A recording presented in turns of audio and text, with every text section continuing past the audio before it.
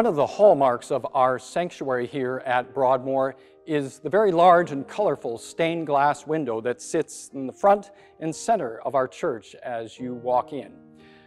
It contains various symbols from the life of Christ. We see a star signifying the Star of Bethlehem that stood over the place where Jesus was born.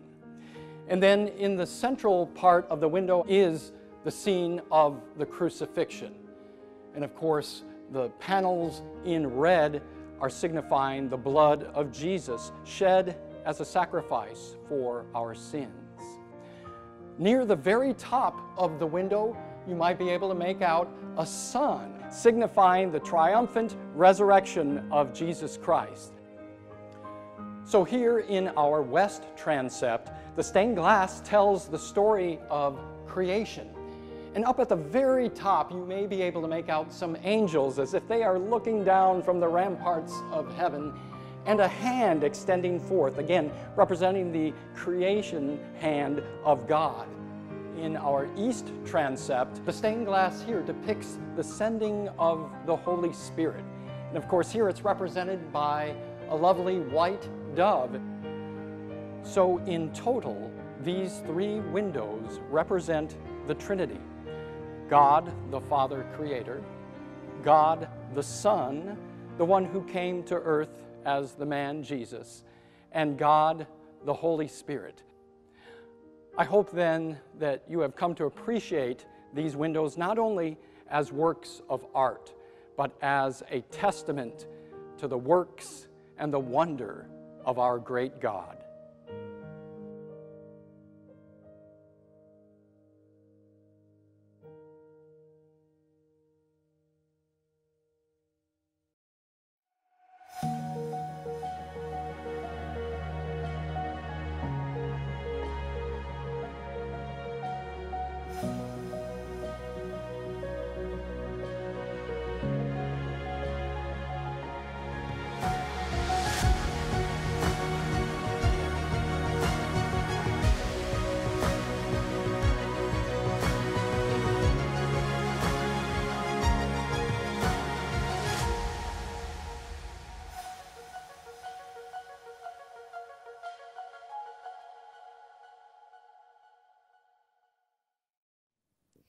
Well, good morning, and thank you for joining us on our contemporary online service this morning. We hope you have had a wonderful week.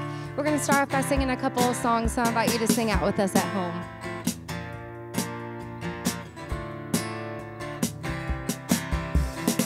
The greatest day in history.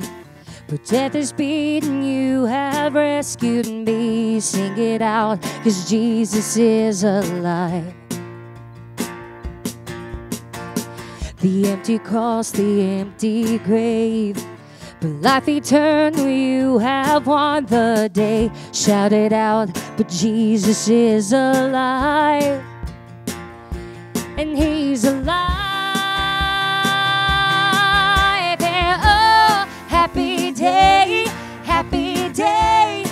But you wash my sin away.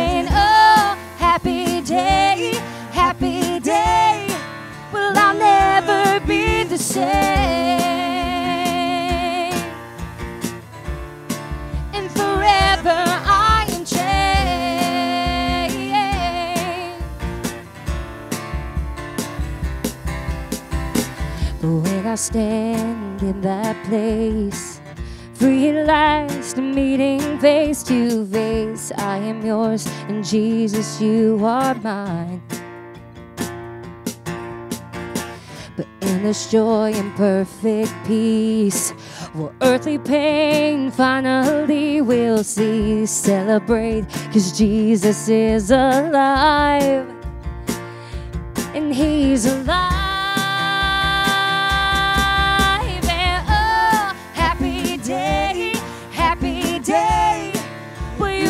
smile. my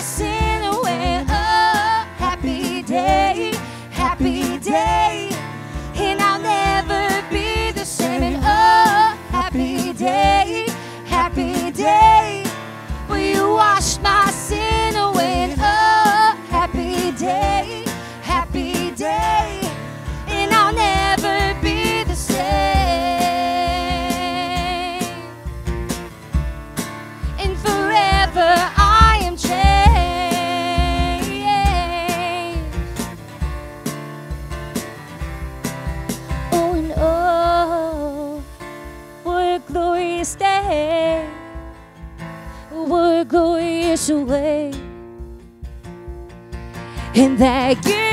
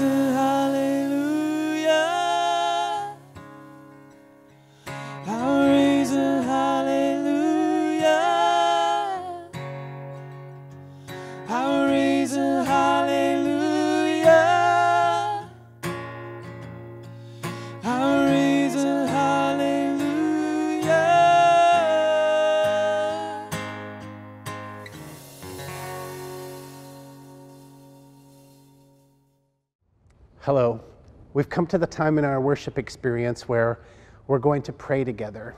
Our topic today is about how God restores. So many times we um, have things in our life that we lose or uh, we feel that have been taken away from us. And our blessed assurance is that we can have the confidence that God is always replenishing us. I invite you to pray with me. Holy God, thank you for this time together.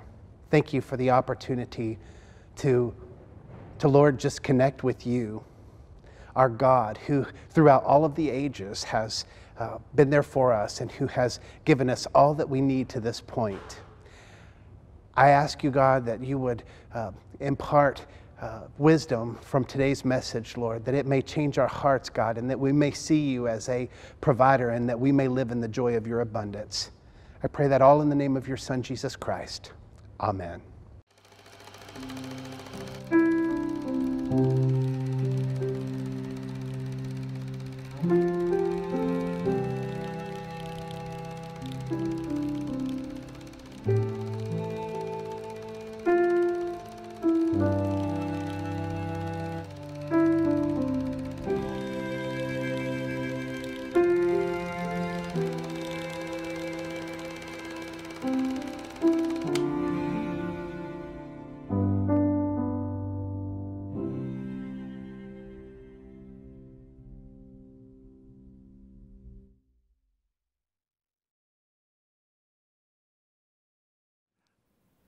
I don't know how it happened.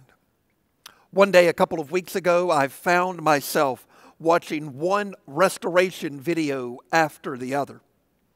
There's something captivating about watching a skilled craftsman take something that looks like a piece of junk and restoring it to something beautiful. From something like this to something like that. From this to this this to this. In almost all of the videos, the car or the tool or the piece of furniture has to be completely taken apart before it can be completely, properly repaired and restored to its former glory.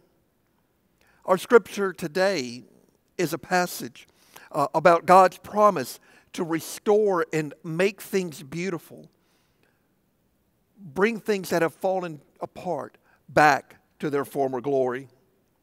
They're words that resonate with me today, given everything that's going on in our country.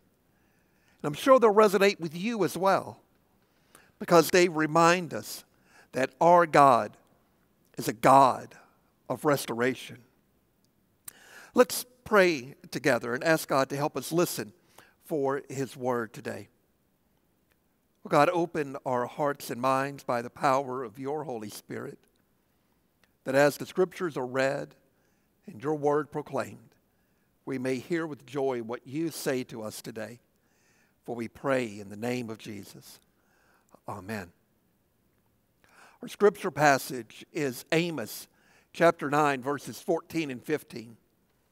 Amos God, speaking through the prophet Amos, says this I will restore the fortunes of my people Israel, and they shall rebuild their ruined cities and inhabit them. They shall plant vineyards and drink their wine. They shall make gardens and eat their fruit. I will plant them upon the land, and they shall never again be plucked up out of the land that I have given them, says the Lord your God. They're beautiful words of restoration and hope.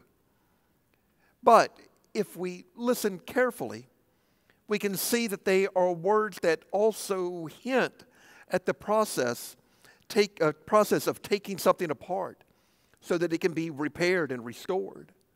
The, the verse says, ruined cities will be restored, and people who have been plucked up out of their land will be returned to it. Well, that raises a question. Why were the cities ruined in the first place? What caused the people to be plucked up out of their land? To understand the promise of restoration found in the last few verses of the prophet Amos, we need to have a basic understanding of the book as a whole. this week, uh, the Bible Project helped me to get reacquainted with the totality of the Amos story. Now, Amos, Amos was a shepherd and a fig tree farmer from Tekoa, a town just south of the border between the southern kingdom of Judah and the northern kingdom of Israel. Now, Israel had broken away from Judah about 150 years before Amos' time, and now was being ruled by a king named Jeroboam II. Under Jeroboam's leadership, Israel grew in economic might and military strength. And while that might sound great, economic growth and military might are not the measurements that matter to God. From Genesis all the way through Revelation, the standard God uses to judge nations and rulers is not economic growth or military might. God's standard all the way through the Bible is justice and righteousness. In the eyes of Israel's elite, Jeroboam had made Israel great again. But in the eyes of the prophets, Jeroboam was one of the worst kings ever. He was one of the worst kings because Jeroboam allowed the worship of idols to flourish. And wherever idolatry flourishes, injustice grows as well. So Amos is called by God to go to Bethel, an important city with a large temple, and start announcing God's word to the people. What we call the book of Amos is a collection of his sermons and poems and visions.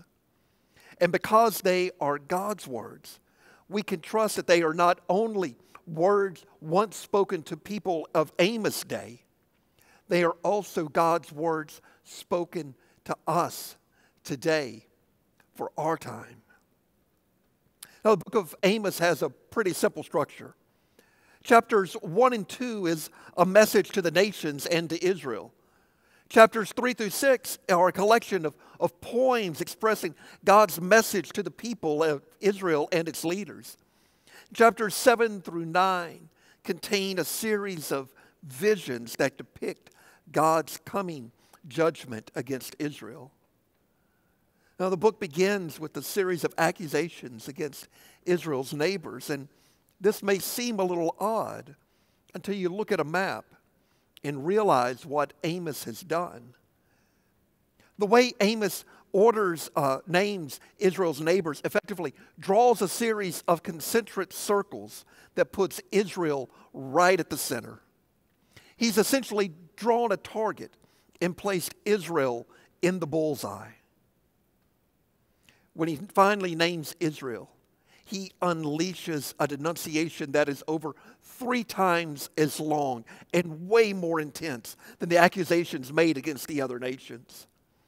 Amos accuses Israel's wealthy of ignoring the poor and allowing unchecked growth of grave injustice in the land. Specifically, specifically he accuses them of forcing the poor to sell themselves into debt slavery and then denying them legal representation and protection. And this, Amos asked, is this the family that was once denied justice and enslaved in Egypt? Is this any way for the people of God, rescued from oppression and slavery, to act? God cannot ignore this any longer. Time's up. Judgment is coming. Chapters 3 through 6 explain why. Uh, Amos 3 2 reads, You only have I known all the families of the earth. Now, this is an allusion to Genesis 12, where God made a covenant with Abraham and promised that his descendants would be a blessing to the whole world. You only have I known of all the families of the earth. Therefore, I will punish you for all your iniquities. Israel had a great calling. And with that great calling comes great responsibility. Therefore, their sin brings grave consequences. The poems in chapters 3 through 6 repeatedly highlight a few key themes. First, they expose the religious hypocrisy of Israel's wealthy and their leaders.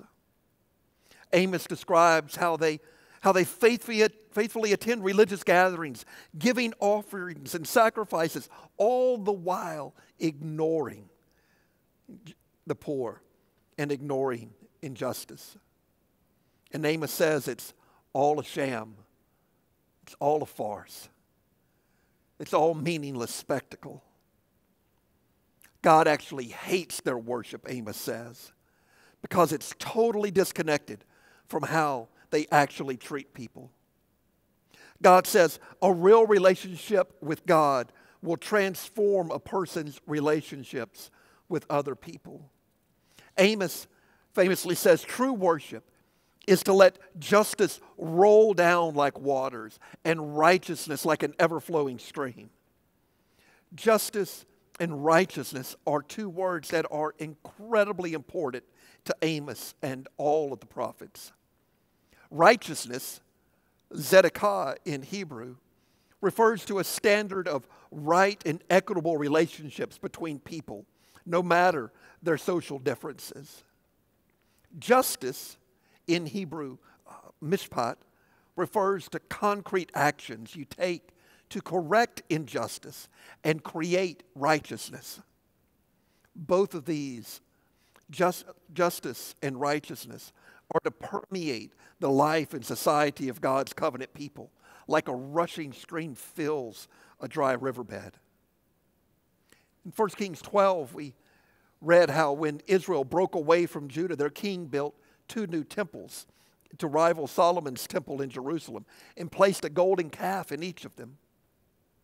Since that time, Israel had only accumulated more and more idols, worshiping the gods of sex and weather and war. In the prophet's view, the worship of these gods always leads to injustice because these gods don't require the justice and righteousness demanded by the God of Israel. Not to mention that these gods were immoral themselves, not like the God of Israel. In Amos 5 4, God says, Seek me that you may live. And almost immediately after that, in verse 14, God says, Seek good, not evil, that you may live. So true worship of the Creator God of Israel is synonymous with doing good, with generosity and justice and righteousness. The third and, and final theme in chapters 3 through 6 is this because Israel and its king have rejected Amos and the other prophets, God will send the day of the Lord. And this is a grave and terrible act of justice that will be invoked upon Israel. Specifically, Amos predicts that a powerful nation will come and conquer and decimate their cities and take the people away into exile. And we know that his prediction came true. Because 40 years later, the Assyrian Empire did exactly what Amos predicted. Chapters 7 through 9 are a series of visions that Amos has that are symbolic predictions of the day of the Lord. He sees Israel devastated by a locust swarm, and then by a scorching fire, and then being thrown away like overripe fruit. In a final vision, Amos sees God violently striking the pillars of Israel's idol filled temple in Bethel, and the whole thing come crashing down. It's an image of God's justice on the leaders and the gods of Israel. Their end has finally come. And it's only after all of this, then in the last few verses, that we get a glimpse of a new hope filled vision is described.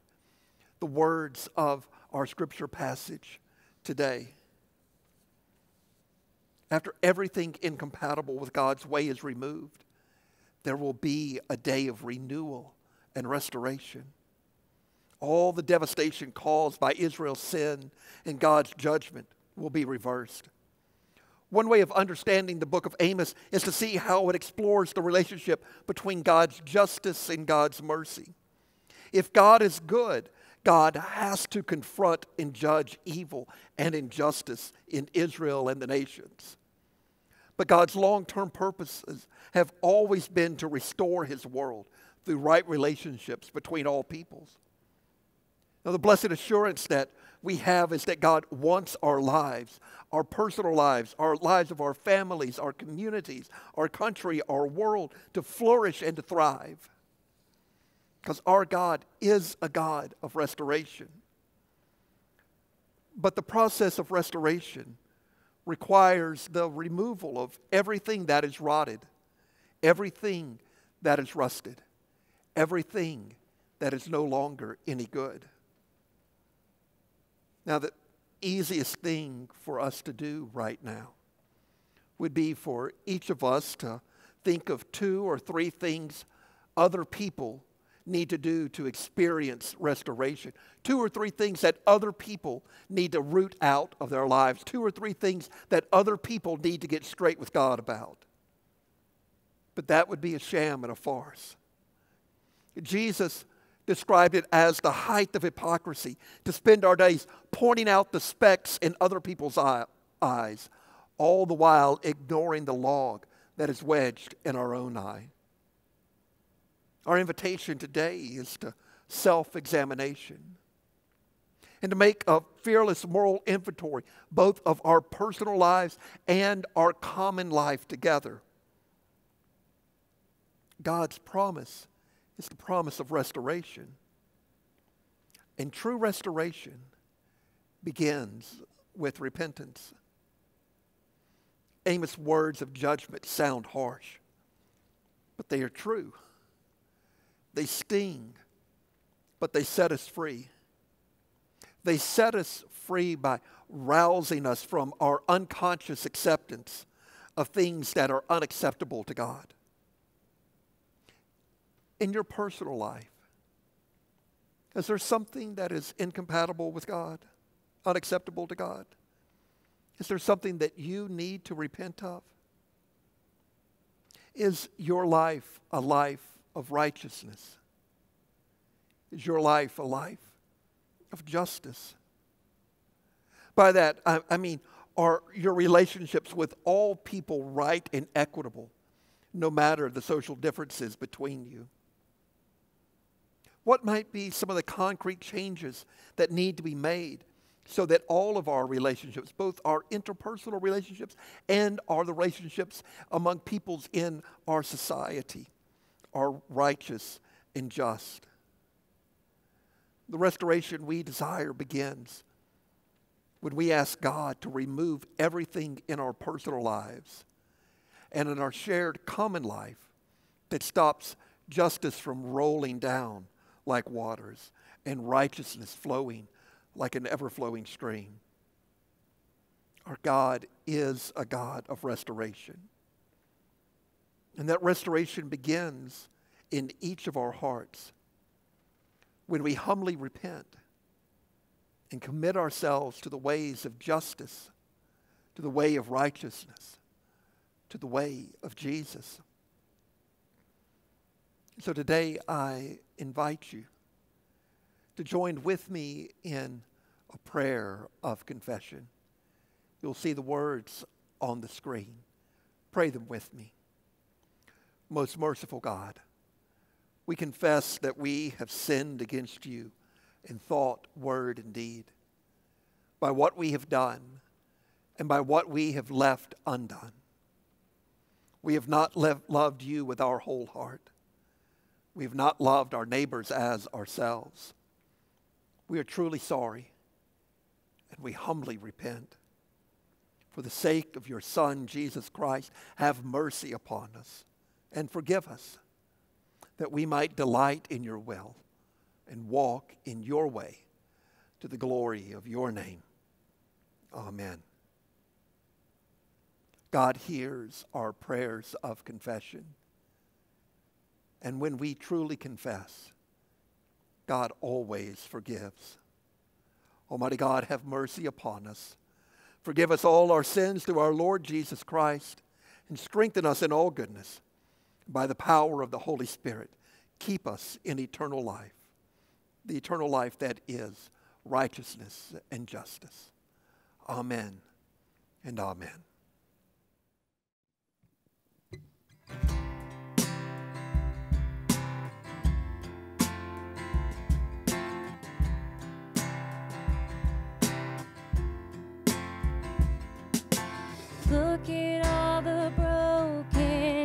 pieces around me, pieces deep inside my soul.